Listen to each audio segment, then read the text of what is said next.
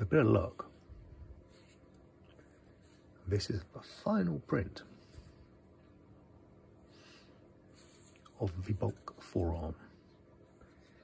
That was a print error, so not quite sure why it happened, but these things do, very minor, and will be covered completely by the shell.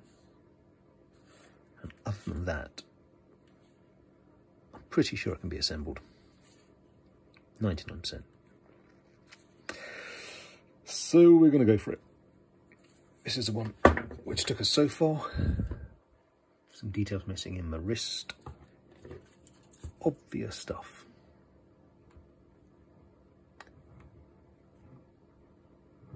But nonetheless,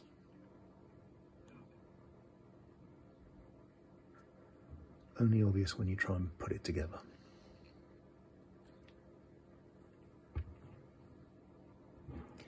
Because then the pieces are no longer static, they're moving around. So predicting clearances is a tricky one.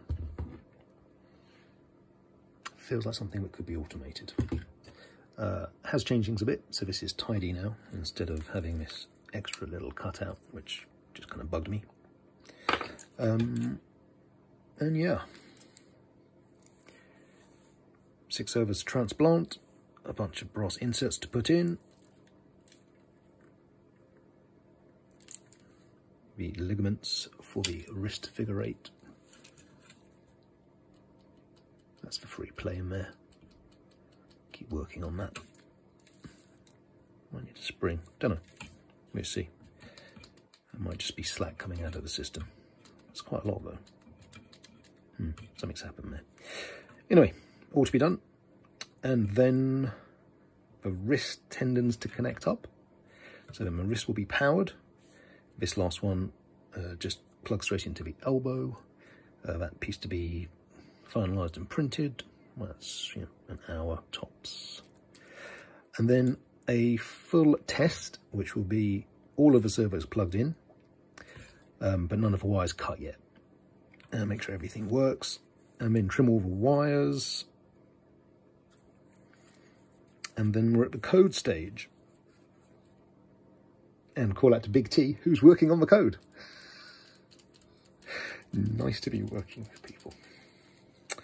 Um, so the hand was already controllable by um, Google MediaPipe hand tracker, uh, but we're going to try and get the arm running as well.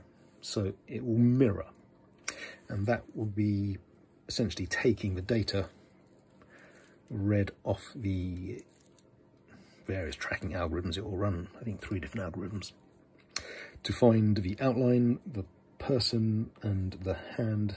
Maybe just for two then. Don't know. I have a feeling there's a third one. Can't remember what it is now. Um, and that will give detailed position.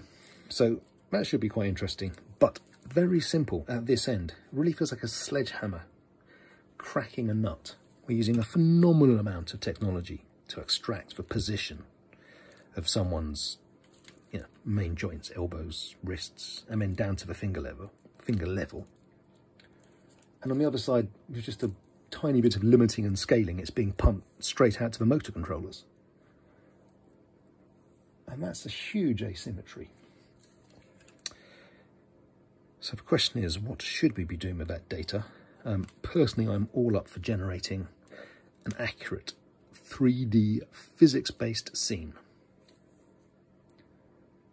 which will contain not just point clouds, but semantically labelled models. And models that include attributes and characteristics and predictions of what those objects can do, which, you know, for some objects is fairly simple, but can also clearly include people um, and in, can include very detailed information about their faces, their hands, their postures. Um, and now clearly you can start to change that into words and you can use those words to generate stories or fit them into existing stories. And then you can generate back into 3D visual information and you can run those scenarios together. So it can start to it can start to have a narrative. And this is really what start to get a bit of future shock here um, because this is an AI, which you better, you know, talk to and do all the things you can do with AIs now. Um, but it'll start to have its own stories. Um, and it will also start to have deep relationships with people because it will it will know it will know how to teach you how to get richer by knowing more about robots and that will change people's change people's lives. And it will be integral to how that how, how that happens. And the bit i'm interested in of course is it can help you learn how to build the hardware which also introduces an interesting symbiosis because the ai will require people at least in the beginning which you know is its own point. At least in the beginning it will require people to build its body for it because it's too difficult. These things are too intricate. Um, but clearly the aim is to make them dexterous, is to make them as capable as possible. So you've got to assume it reaches a point where it'll have enough robots of itself out there. And kind of we're going to want that as well, right? Because it's going to get boring.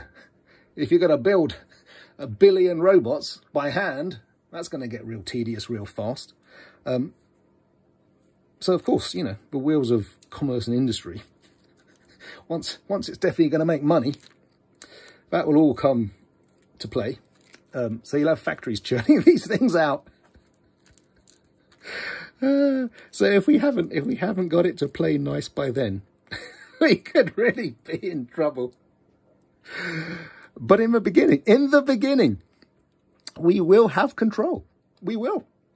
In the beginning, it will require people to build the body for it. So really, it, en it ends up becoming, and this is where the alignment thing comes in, um, you can't prove, you can't prove that it isn't lying to you.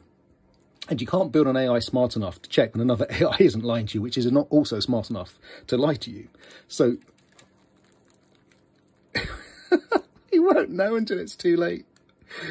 Uh, but nonetheless, we're clearly going to go on with it. Um, we're going to do our best. We're going to set it tests.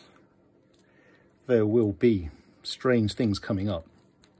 But the point remains that in the beginning, it will require people to build the bodies for it. I'm trying to teach people how to do this um, because it's what I know how to do. So there you go. Um, this is the V2 Dexhand, which is not finished yet, but needs to be very shortly because I'm meant to be showing it to the public in uh, two weeks now. So that really has to come together quickly now. Um, and that's fine, because so long as there's no more mistakes, um, it only takes a day or so to assemble once you get good at it. uh, getting good at it is something I've yet to do, because as soon as I finish one design, I start doing the next one. Um, but, you know, it's an object of finite complexity. So I am sure that with a little bit of incentive, price will plummet. These will be being churned out. Robots will be doing all sorts of interesting, useful stuff. Um, but behind it all, there is going to be this massive AI.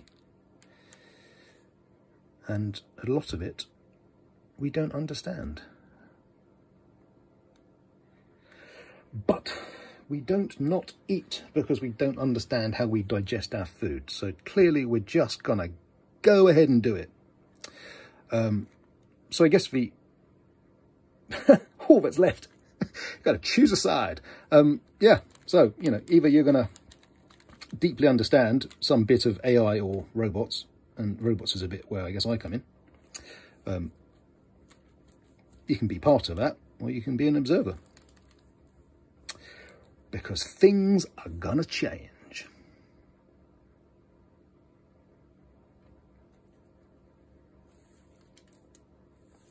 Thank you for listening.